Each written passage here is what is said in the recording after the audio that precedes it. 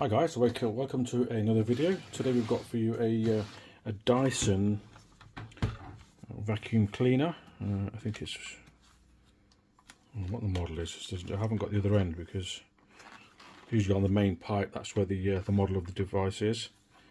Um, but something I think it was something seven. But anyway, that doesn't really really matter at this point. Um, what we need to do is, oh, it's a V7, there you go, Dyson V7. So what we need to do is have a look why it's not working. So it's got no power. So let's start with the basics. Always start with the basics. So we've got the, uh, power supply here. Let's plug that into my socket in the board. And uh, let's see if any lights come on the battery, which is just there. Okay, now it's possible that's dead or something else is wrong. Let's start with the power supply and see what we've got uh, coming out of it. Get a multimeter and uh, see what happens.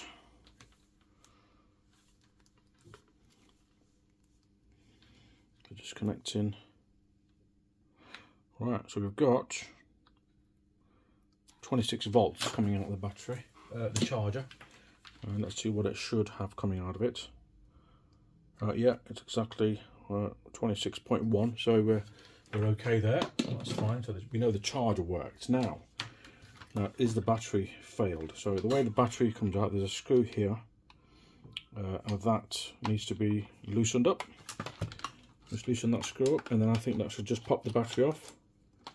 That's the retaining screw. Uh, I think we need to open the top. Oh God, I don't want to get messy.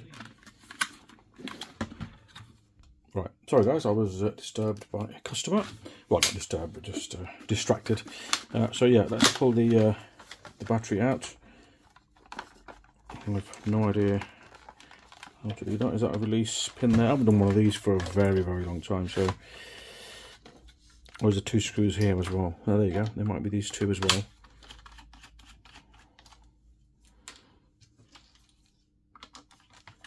So you've got two, three screws hold the battery in place. Uh, don't lose the screws because usually uh,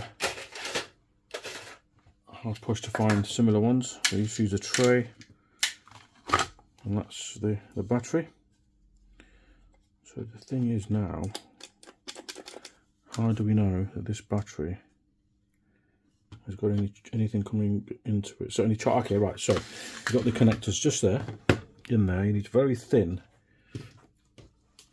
tips for your multimeter. Anything 0.8, which is not enough at all. I think that's failed. So if we get the charger and plug it into the battery,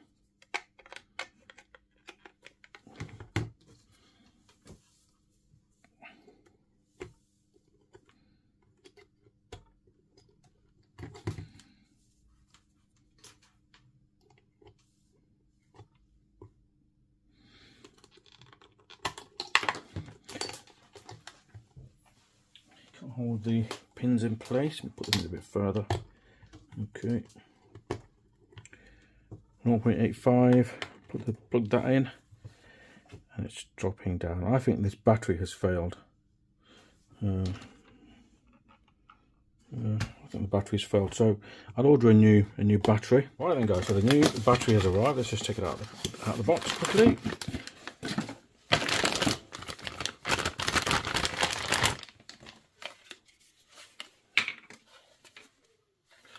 Going to plug it in first uh, into the charger. And as you can see the lights already coming on. So I think this battery will be exactly what we uh, what we need to get this uh, um, vacuum working again. Okay and you'll see the volts coming through on the meter in a second there you go. That's absolutely fine. So I think the issue was just the battery but it's best to eliminate it isn't it? You know if it wasn't the battery then I would have just returned the battery uh, to the to the supplier. Uh, there is a link in my uh, description below for the battery uh, and uh, yeah all should be good.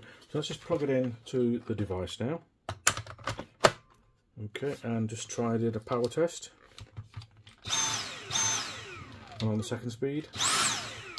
Perfect. All we need to do now is uh, charge the, the back, put the screws in, charge the battery uninterrupted for 12 hours, run it down to approximately when it, when it switches off with no power. And then what we can do is uh, charge it again, do that three times, and that will optimize the, the battery life of the battery. Uh, so yeah, there you have it. That's uh, a uh, another job done. Hope you like the video.